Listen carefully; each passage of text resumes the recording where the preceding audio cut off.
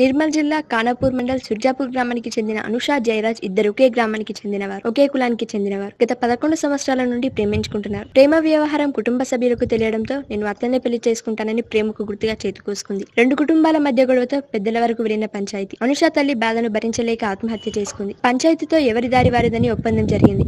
అనుషకు కడం పెద్దల నుండి సంబంధం కుదిరింది.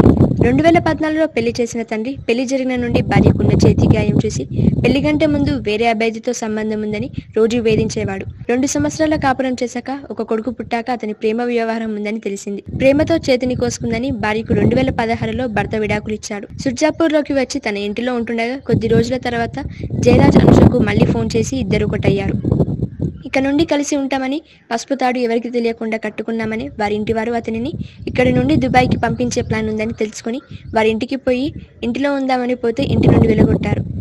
ఏది ఏమైనా అతనితో నేను మోసపోయానని భర్తను కూడా అతని కొరకు వదిలేశానని అతనినే అతనితోనే పెళ్ళి జరిపించాలని లేకపోతే నేను చస్తానని తెలిపింది. ఇతనే ఫస్ట్ నన్ను సార్ నాకు ప్రపోజ్ చేసిండు. సార్ ఇద్దరు ప్రేమించుకున్నాం సార్. ప్రేమించుకున్న తర్వాత మా వాళ్ళకి తెలిసింది సార్. తెలిసిన తర్వాత అంటే ఇతని కోసం నేను చేతికో నువ్వు లేకపోతే నేను చచ్చిపోతే చేతికోసుకున్నా సార్. చేతికోసుకున్న తర్వాత ఏమని చెప్పింది సార్? అక్కడికి పంచాయతీ పెట్టిద్దామని చెప్పేసి సార్ వీడిచ్చి అక్కడ పిలిపించారు సార్. పిలిపించిన తర్వాత సార్ వీళ్ళు వీళ్ళ వీళ్ళ అన్నయ్య వీళ్ళ అమ్మ వీళ్ళు ఏం చేసిరు సార్ అంటే అబ్బాయి నైట్ నైట్లో పంపించేసారు సార్ జయరాజ్ని. పంపించిన తర్వాత సార్ మా మమ్మీ చనిపోయింది వీళ్ళ ప్రెషర్ వల్ల. చనిపోయిన తర్వాత సార్ మా బాధలు అన్నిటి వల్ల చనిపోయింది సార్ మా మమ్మీ. చనిపోయిన తర్వాత మా డాడీ ఒక్కోడే. మళ్ళీ మా చిన్నవని చేసుకున్నాడు సార్. చేసుకున్న తర్వాత వీళ్ళు కలిసి ఎవరికొకరికి ఇచ్చి చేయాలా ఉండ ఇక అతని వాళ్ళు ఇట్లా అయిపోయింది కదా ఇచ్చి చేయాలని చెప్పేసి సార్ వేరే అతనికి ఇచ్చి పెళ్ళి చేసారు సార్. చేసిన తర్వాత సార్ నేను వెళ్ళిపోయినా. చేతెందుకు వస్తున్నావు అని చెప్పి అంటే సార్ నీకు సమాధానం చెప్పలేను అతనికి. చెప్పకపోయేసరికి సార్ అతను ఇక్కడికి వచ్చి ఎవరి ద్వారా తెలుసుకున్నట్టు తెలియదు నువ్వు ఒక అబ్బాయిని ప్రేమించినావు ఇట్లా చేసినావు అని సార్ నన్ను రాడుతోటి టార్చర్ చేయడం సార్. నచ్చకపోయినా దగ్గరకు వచ్చి పడుకొని బలవంతంగా చేసింది సార్. అబ్బాయి పుట్టింది సార్. అబ్బాయిని తీసుకొని ఇక్కడికి వచ్చేసిన సార్. రెండు వేల పద్నాలుగులో పెళ్ళైంది సార్. నేను ఇక్కడ రెండు వేల పదహారులో వచ్చిన సార్. పదహారు వచ్చిన తర్వాత ఇతను అతను అక్కడ చౌరస దగ్గర ఉన్నాడు సార్.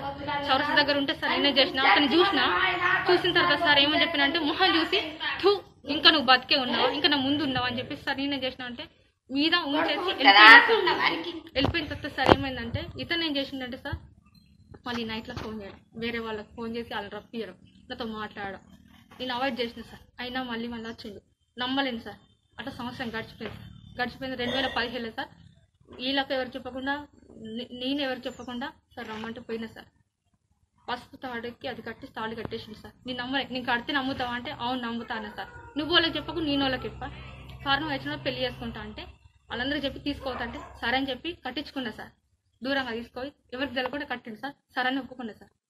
సార్ అట్లనే కంటిన్యూగా నేను అతను నా దగ్గరికి రావడం నేను అతని దగ్గరికి వెళ్ళడం అట్లా జరిగింది సార్.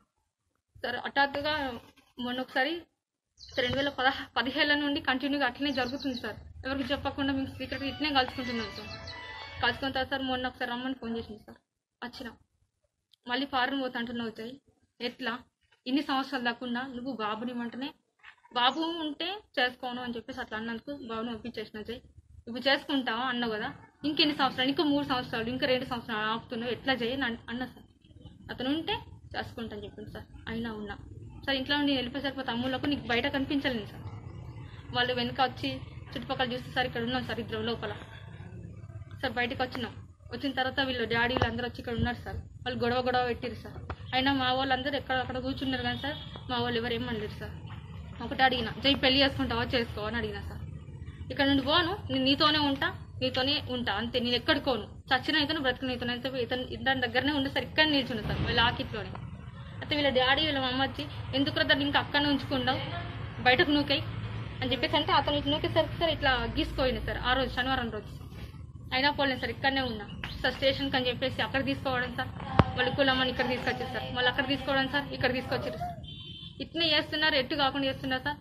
స్టేషన్కి వచ్చి అబ్బాయి మాట్లాడాలి సార్? అబ్బాయిని తను ఒక్కోసారి సార్ ఫస్ట్ రోజు వచ్చింది సార్ అంతే. మళ్ళీ నిన్న పోయినా సార్ నిన్న బయట బయటికి లోపలనే తీసుకురాలేదు సార్. బయటనే ఉంచేసారు వాళ్ళు. అతనితో మాట్లాడియట్లేదు అతని మధ్యలో మొన్న ఫోన్ చేసి ఏమని చెప్పిండు సార్? నన్ను పెళ్ళి చేసుకుంటావా? నీ బీడిస్తా జై. అర్థమవుతుందా? నీ బీడిస్తా. నువ్వు కులంకి వచ్చి మాట్లాడు. అని చెప్పిన సార్. అతను ఏమనంటే సరే నేను చేసుకుంటా కానీ నువ్వు బీడీ చెప్పు అక్కడ ఇజ్జత్ మొత్తం పోతుంది. అని చెప్పిండు సార్. సరే అని చెప్పేసి సార్ నన్ను చేసుకుంటా అంటున్నావు కదా నీ బీడి అని చెప్పేసి నీ ఇంటికి వస్తున్నా చెప్పేసి ఇక్కడికి వచ్చిన సార్ వీళ్ళింటికి వచ్చిన తర్వాత చేసుకోవాలి కదా సార్ చేసుకోను. ఆయన ఏ సమాధానం చెప్పకుండా సార్ అక్కడ నిలబెట్టి అట్లే ఉంచారు సార్. మళ్ళీ పోలీసులకు ఫోన్ చేస్తారు మళ్ళీ తీసుకోమని చెప్పి అట్లే చెప్పారు సార్. మళ్ళీ ఫోన్ చేసి ఏమన్నాడు సార్ నేను అన్న సార్ సర్పంచ్ గారు వినిపించిన సార్. జై చేసుకుంటా అన్నావు మరి సంగతి ఏంటి?